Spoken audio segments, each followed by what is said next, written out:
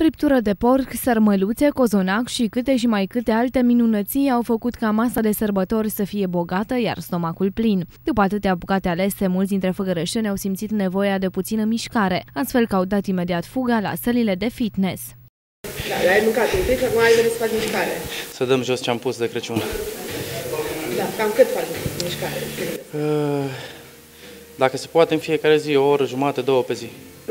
Da, într-adevăr, e bine să faci mișcare sub uh, diferitele ei forme. Uh, Vin la sală de 3-4 ori pe săptămână, nu doar în perioada post-sărbători, ci și în cursul anului. Lucrez în special pentru dezvoltarea forței generale și forței specifice fiecarei grupe musculare.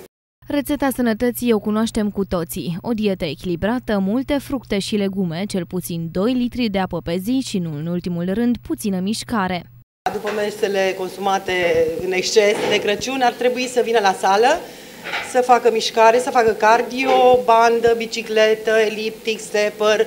Important e să faci cel puțin o oră pe zi sport, dacă vrem să fim sănătoși și să arătăm și bine. La început mai moderat, cu mai moderat. Normal, la început un antrenament de începător și treptat creștem intensitatea în minute sau depinde ce spune instructorul. Plimbările în natură pot fi o altă soluție pentru cei care nu sunt adepții sălilor, însă oricum ar fi mișcare, trebuie să fie.